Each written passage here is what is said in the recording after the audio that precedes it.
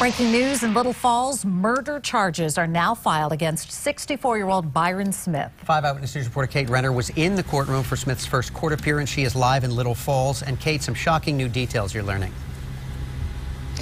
Yeah, these details are very gruesome. David Byron David Smith was just seen before a judge just a few minutes ago. There he was formally charged with two counts of second degree murder for shooting and killing Nicholas Alexander Brady Schaeffel. We've just learned he has a last name of Schaeffel and Haile Elaine Kifer.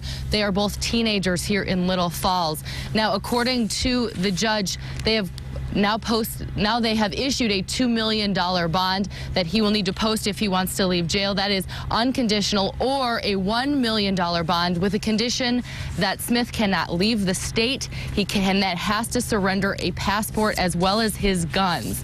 Now, according to a statement that Smith made to police on the Friday after Thanksgiving, he said on Thanksgiving he was in his basement. He heard the two people upstairs breaking into his home.